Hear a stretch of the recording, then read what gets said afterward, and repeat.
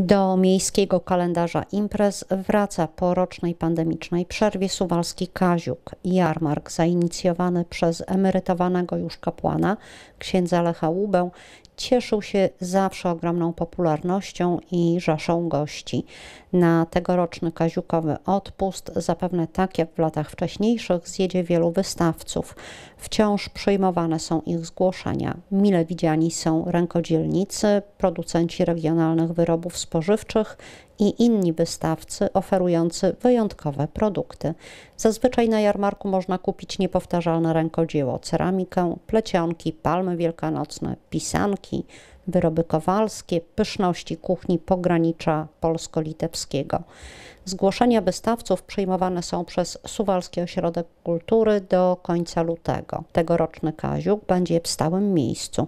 Stragany i scena staną na ulicy Patli oraz na fragmencie ulicy Witosa i cieszyć nas będą od 10 do 15.